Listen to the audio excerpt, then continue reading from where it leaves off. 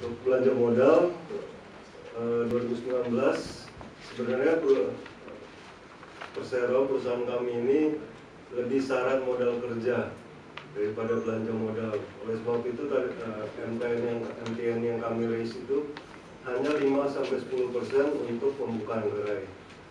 Di tahun 2018 juga belanja modal kami hanya 4 miliar.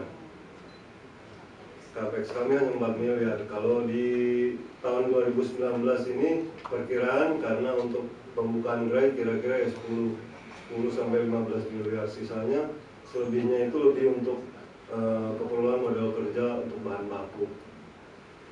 Target top line itu naik kami menargetkan bisa ada kenaikan 15 persen di tahun 2019.